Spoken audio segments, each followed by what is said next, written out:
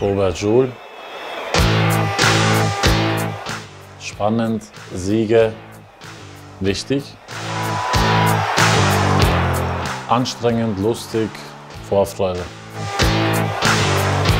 Ja, eine sehr gute Mannschaft, die äh, kompakt steht, die immer wieder Konter ähm, ausspielen will. Wir werden ähm, ja, im Gegenpressing sehr aktiv sein müssen, die gar nicht in die Umschaltphasen kommen lassen und ähm, am Ende des Tages ja auch ähm, selber ähm, kreativ sein und viele Chancen herauszuspielen und am Ende des Tages auch die nötigen Tore zu machen. 2-0 für uns.